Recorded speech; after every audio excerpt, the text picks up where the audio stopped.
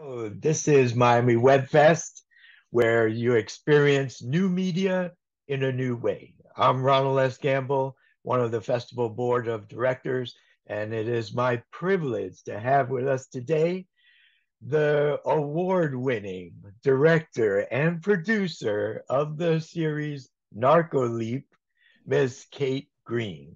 Hello. Welcome, Kate. Hi, it's great to um, be back. Like I was saying earlier, coming back to Miami, although I'm not really there in person, it does feel like we're coming home because we've been at Miami before. So uh, we love this festival. So thanks for having us. It's you're quite welcome. It's our pleasure, and uh, it's it's great having you. I know you've had quite a busy schedule, but um, for our viewers and uh, and also for the rest of us, uh, tell us about yourself. Sure. Well, right now I'm I'm in a production office of a. Um, I'm working on a Discovery Channel show, a new show up here in Canada. Um, so I do a bit of writing, um, but mostly I'm a producer and director, and I work in the scripted uh, arena and industry. And I have my own production company called Kate Green Productions, and we develop and produce uh, really great content, usually by and for women um, and made by women, but uh, but that doesn't mean we we love stories about dudes too. but yeah, so that's that's me in a nutshell. But mostly a producer and director. But today you caught me um, writing on a, a Discovery Channel show. So. well, I, I mean that's that's fantastic. I love Discovery Channel, and uh, you know what you said about uh, focusing on women and the exposure and opportunities is very important, um, not just for women to understand, but for guys, to, gentlemen to understand as well, because mm-hmm. it takes all of us. And mm-hmm. I think that's part of it is that, you know, if we can appreciate and respect each other, um, then uh, we, we can have even better and better products like mm-hmm. what you're producing uh, with um, with your productions. Yeah, I I think we just need to, you know, we just need to always be telling stories from an authentic place, and um, you know, I can only really tell stories. The best kind of stories that I can tell are from my own perspective and my own experience, mm-hmm. and uh, and that's the same with everyone else. And and those are the ones that really ring true and so for Narcoleap, yeah, I mean, yes, it's sci-fi, and um, I don't have narcolepsy as Kelsey does in the show, but I I wanted to tell a story about a young woman in her twenties, kind of coming of age, and being very awkward and insecure at the beginning of the journey, and then by the end, really kind of coming into her own skin and her own power, and um, realizing that this thing that she thought was kind of a disability is actually kind of her inner superpower. And I think, you know, a lot of young women need to realize that we have those little inner superpowers. We just need to discover them. And so that okay. was kind of where Narcoleap came from for me. So wow. yeah. now now Narcoleap, uh, you've been doing this, this is the second season yeah. that you have out now. Mm-hmm. Great. Now, without giving any spoilers, um, mm-hmm. what are some of the things that we could expect in this second season from uh, sure. uh, is it Kelsey is the main character? Yeah, uh, I believe played by um, Chelsea Chelsea Rees. Chelsea Rees. yeah. Yes, what a fantastic job she does. Amazing. And, uh, she does an incredible job carrying the series. Yeah. So Chelsea, you she was on the 100. Um, she had a, a recurring role on that. Uh, she's joined by Alec Paunovic, who is from Hawkeye series and Snowpiercer.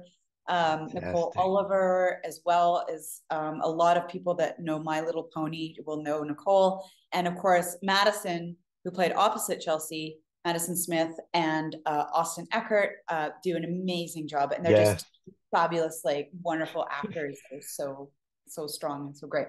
Anyways, um, that, that's okay because I, am watching the series and yeah. I'm just falling in love with them right off too. Yeah, and, uh, I, yes, I just yeah, great, great actors. Yeah, yeah, absolutely. Sorry, uh, you have to repeat the question because so, I just. um, what can we expect oh, right. in the second yeah. season? Yes. yeah. So, um, you know, season one was really about Kelsey uh, re- thinking that she was alone in this world and with this power and ability, and that she was the only one. And so, season two, we start to discover that she's not alone. Oh God, sorry. Um, that's my husband calling me. Sorry. That's okay. um, so in season two, we discover that she's not alone, that there are other people out there that have the same power as her. And they're sort of using it for nefarious reasons and, and kind of, um, you know, they're, they're trying to help the world, but they're kind of going about it the wrong way. And Kelsey, at the end of the season, really has to make a choice of how is she going to use her power? Is it going to be for good, or is it going to be kind of this darker road? right. Yeah. Wow. well, it's going to be exciting to see all the choices that she makes uh, yes. throughout these episodes. Uh, and uh, great, great work so far. Um, I'm really excited about it. And as we were talking earlier, um, as I'm watching the episode, I'm I'm wanting to to leap into the next moment, anticipating what's coming next. Yeah. So yeah. Uh, nicely, nicely done.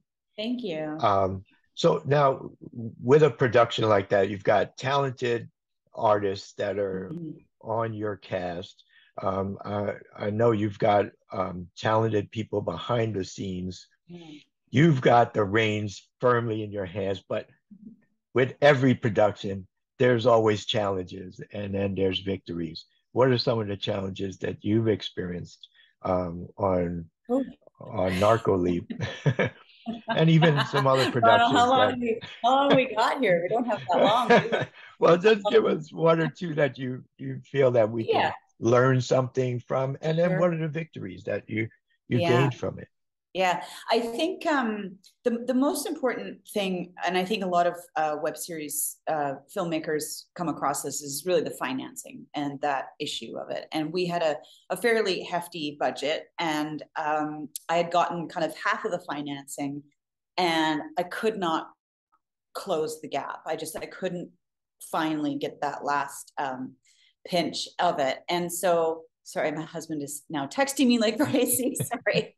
Um, so um, it came a point where I, I knew I wasn't going to give back the money I had. so because you, you don't want to do that.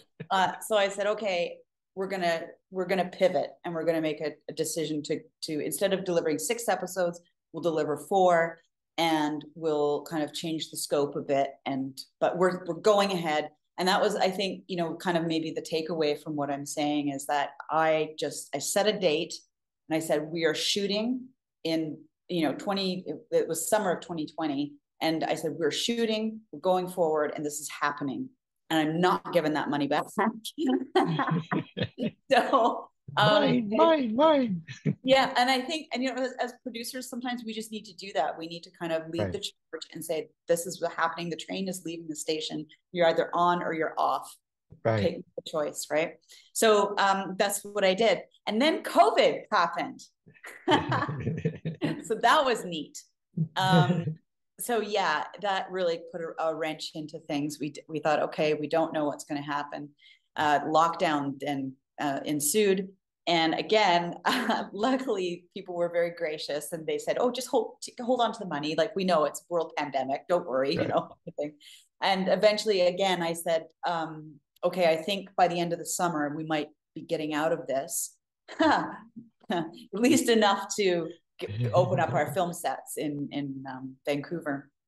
And that was the case. And we were the first indie project to go back uh, so we had all the unions coming and visiting our set and uh, checking our health guideline plans and everything right. we're putting in place. And it was hilarious because they were trying to compare us to, you know, some of the Warner Brothers shoots. he said, you know, no, we, we're not doing testing every day. um, but you know, everyone was really great, and everyone stayed safe during our shoot. There was no no um, no nobody got sick or anything, so uh, it was uh, it was a great thing. But yeah, lesson is sometimes you just gotta take the bull by the horns and, and set a date and move forward and go forward. Right. Um, and I would say, you know, the greatest joy that came out of that was uh, cast, crew, our suppliers, our vendors, uh, our mentors, our executives, everybody came together to help this like little indie project make it mm-hmm. and happen. And um, yeah, that's it's all kind of joys and the ups right. and downs of everything wrapped into one. Yeah. Right. But that's that's part of life. That's uh, an emulation of life yeah. in the production. And one of the, I mean, we all can relate to the challenges of the pandemic, and mm-hmm. definitely the the industry took a real hard mm. sucker punch, even sometimes. Yeah. Uh, the, the expected and unexpected, but um, one thing that we can expect is that we keep rising. And yeah. thank you for producing and committing to producing. And one of the benefits, uh, I would say, it sounds like that you were able to get the attention of um, these critics and and mm-hmm. uh, quality assurance uh, groups yeah. to make sure that you have a, a high quality production yeah that well, we can depend on yeah and and a footnote to all of that is that two weeks before camera i got that final gap in financing and they said we're, we're, you know you got the money it's on its way right. so right. um sometimes having that leap of faith. I mean i felt like right. if i'd gone to vegas i would have won. I would have broke the house. Just, just total gamble you know, right. Right. but, but, we got it and we you know we were able to to to make it happen. We got the scripts the two the final scripts. So so anyways there's six episodes altogether so. Oh great. Yeah. Well you keep well you won't reach that leap of faith if we don't put ourselves into action yeah so, absolutely. yes. Absolutely. well you certainly have been um, into a lot of action. You've got an extensive background of producing, directing, whether uh, casting director, also production manager, uh, even appearances as yourself. Oh, writer. Well, you went right down to the bottom of the IMDb page, didn't you? I mean, yeah, you've got so much, many things with with such a background. What inspired you to get started in this industry and, and in such a dynamic way? Oh gosh, yeah. Well, I mean, the the short story is I thought I was going to go into theater and do uh, stage management or lighting designs. I didn't know what, but um, uh, I, I, soon realized I probably would never own my own house if I stayed in, working in theater. No, I, I kid. Um, I went to a school that um, for technical theater, and and you had to audition every time for every you know production. Didn't matter, and it was a great idea because it didn't matter if you wanted to be a set painter, you still had to audition because you needed to understand what everybody else was doing. And in particular, you had to understand what the actors were going through right. when, you know, you're doing your job, trying to make them do their job better. Right. So uh, it was a great program. I kept auditioning. I kept getting cast. So um, at 19 or 18 or whatever I was, you know, I thought, well, I'm obviously meant to be an actress. so I actually pursued acting for a while and I did okay. I um, started a all female sketch comedy troupe. Um, we did uh, sketch comedy, wrote our own pilot, and um, did shows around town. And I had an agent, and I was doing I was doing all well well. But you know, I real there came a point when I realized I would I would most likely be a full time waitress and a very very very part-time actor and i wanted to be a work i want to be working in the industry and right. um, through the pitching of our uh, characters and the writing of that show that we did um, i realized i'm like oh this is kind of the producing and trying to you know the pitching and trying to organize and and the you know this is kind of what i started out trying to do like stage management or right. you know uh, the the organization and kind of side of it and you know i i i'm i'm I'm happy and, and I can easily say that I'm pretty decent at it. Um, not the best, but I'm pretty good at what I do as a producer. And so, uh, and I liked it, and I, I really enjoyed it, and I liked bringing all those people people together and and getting getting the project and creatively having some input as well. And so I, I went back into production, and um, that was a very long time ago, as you will see from my list. Um, but yeah, I you know started production managing and um, doing volunteer work and direct first ADing and kind of just working my way up um, the right. the ladder to doing producing and and now directing as well. So yeah, I'm a sum of my parts. That's for sure. Well, well, we are benefiting from all those the sum of your parts, and um, so and now you have your own production company. I uh, do. Uh, Kate Green Productions. Mm-hmm. So tell us about that. Yeah. Um, so we do a lot of um, development work. Um, I'm actually taking a little bit of hiatus, so please don't send me your scripts. Please don't send me anything. In fact, um, uh, so but you know, my slate is very full right now, um, and we're working on uh, some television series, and I've got two feature films uh, oh, on the excellent. right now that I are near and dear to my heart, and I can't wait to to tell you about them on our next time that we get to right. um, but uh, yeah, and so and then we also do a bit of service production as well, and then I sometimes like today hire myself out uh, on various shows as a hired gun on on occasion. So excellent. Well, Kate, um, I want to read something as a quote from your page that I thought was very moving. And oh. um, so it it says, we believe that having a fer- ferocious curiosity about the people and world that surrounds us is the key to finding big characters and phenomenal stories that mm-hmm. deserve to be told. Mm-hmm. Wow. Yes. Wow. I wrote uh, that. that's amazing. Take credit because um, that's just uh, and that's really what art is about in all different aspects is is moving people in a special way.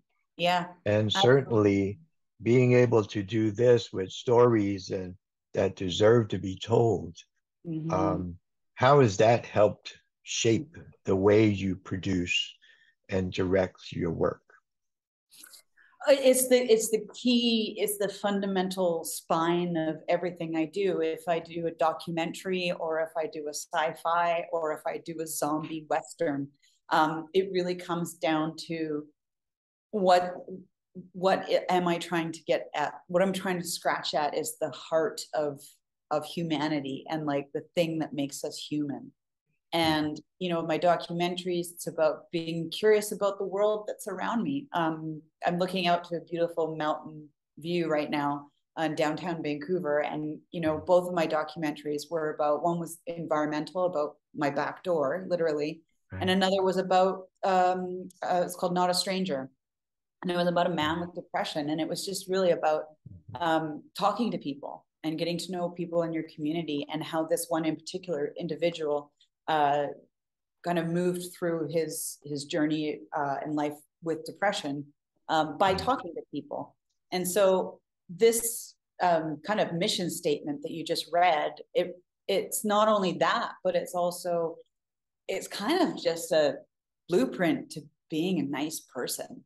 I mean, if we just right. were a little bit curious about the people around us, like the person sitting beside us in the cubicle or the person at the bus, if we were just a little bit more curious about other people other than ourselves, we would have so much more love and compassion and understanding mm. for us. And I th- I almost, you know, I dare to I wonder sometimes like how much of a nicer world we would have if we just took a second out of our day just to, you know, have a, a bit more of a conversation with our barista than we normally right. do.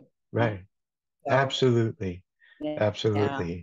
Because um like you know taking a moment or or the the connection that someone gets through uh, mm-hmm. viewing your productions mm-hmm. um, it brings us a little bit closer together Absolutely. and when we're closer together we have a better perspective a different perspective and probably a better view of yeah.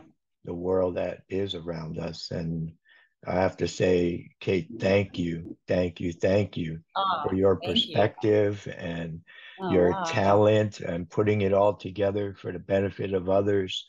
And certainly, we, we, we're glad that your pockets um, get served as well. But um, yeah. I think the bigger value is what we're getting from the great oh. work that you're doing with all the talent that you're oh bringing together. Gosh.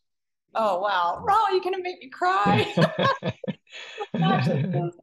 I wish more than anything I could be with you guys um, this this time, but uh, it just did not work out in, in the schedule, unfortunately, which kills me because we were season one was with you guys, and now yes. we're back you, and it just uh, kills me that we're not there. Yes, and uh, well, we are happy to have you as one of our selections in this year's Miami Web Fest. And we know in the past, um, your season one was Best Sci-Fi Award winner, yeah. and um, so yay! Thank um, you. Um, so yeah, we'll that, means, that means How, it's sitting, it's sitting on my mantelpiece, the award too. Real, uh, excellent, excellent. so you have a little bit of Miami I uh, sure do. I look at it are. every day. Excellent. We appreciate that, and um, and I know our CEO Brian Thompson uh, mm-hmm. really appreciates your work as well. Thank you. So thank you for being a part of Miami Web Fest and part of the Miami Web Fest family. So, um, how can people stay in touch with you, Kate, and and your content? Sure. Yeah, I am. Uh, well, Green Productions is .com is my website, uh, and everything kind of links to there. Um, I am on Twitter at K- KGP Films uh, and Instagram as well, KGP Films. I've taken a little hiatus from social media, so um, I'm going to be going down to Rose City Comic Con uh, next week. Oh, so excellent. see me back on social media at that point. I, I decided to take a bit of a hiatus this past year. Mm-hmm. Uh, I haven't posted very much at all, but um, I'm at the Comic Con, Rose City Comic Con, uh, September 9th. So uh, that will be a great place to start posting some great pictures of, of fellow sci-fi lovers like myself. Yay!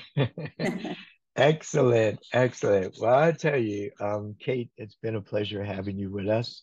Oh, and my, my pleasure. Um, we really look forward to um, the rest of season two of Narco Leap and um, and all the great work that you're doing with Thank Kate you. Green Productions and your team there. Awesome. So, um, ladies and gentlemen, again, it's Kate Green, um, of executive producer, right, of Kate Green Productions, and a director and producer of Narco Leap, a series.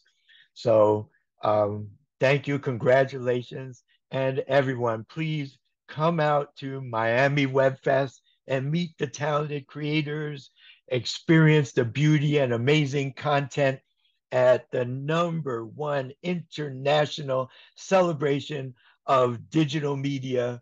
It's new media in a new way.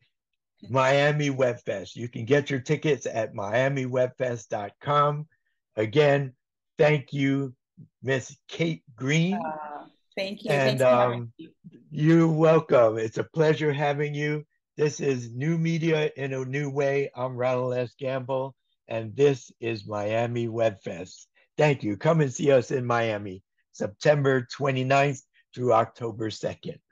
All right.